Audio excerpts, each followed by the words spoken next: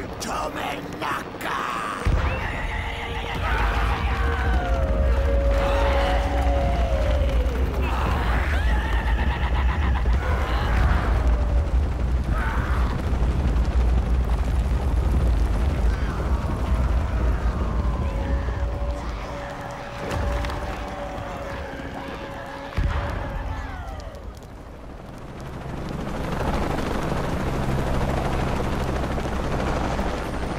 Jonah, change of plans. I'm bringing reinforcements.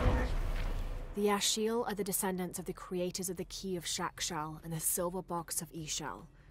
In the centuries since Lopez stole the box 400 years ago, they lost their purpose. Now they protect the site where the ritual of the Silver Box will take place. Even though their minds have faded, their purpose remains intact. They will fight and repel anyone entering the holy city of the Serpent. They are led by a priestess known as the Crimson Fire.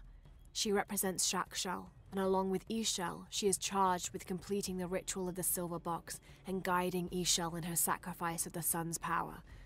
Once it is completed, the Crimson Fire and all the Yaaxil will return to the heavens where the key and the box were forged. What? I hope you know what you're doing. Me too.